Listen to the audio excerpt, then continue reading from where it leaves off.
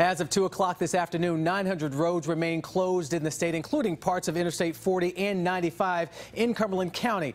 As CBS 17's Robert Richardson reports, this is impacting more than traffic.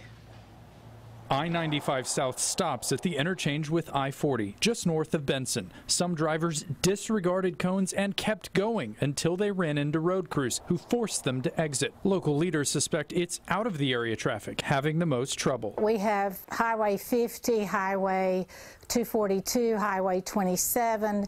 A lot of people are using the state roads, uh, especially those local people that are aware of those roads existing. Getting to some of those detours have detours of their own. People traveling on I-95 South who exit I-40 West to try to get to 301. Well, this exit's closed, so they have to go down even further to loop back. Though cars and even dump trucks ignored the closure, the Department of Transportation is warning out-of-state drivers to detour all the way around the state if possible. Cutting them off at the state line, as the governor had directed, is causing the travelers that normally come through on I-95, there's less of those. That means a decrease of customers at some short stop shops at exits like fast food and gas. But the Chambers of Commerce in Benson and Dunn say other businesses aren't seeing a major impact from the closures. However, Benson's Mule Days, set for Thursday through Sunday, will be postponed for the first time in its 69 years. A lot of our attendees are from South Carolina, Eastern North Carolina, and we just felt that it wouldn't be fair to them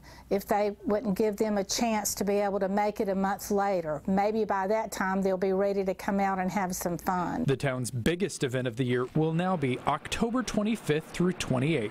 Robert Richardson, CBS 17 News.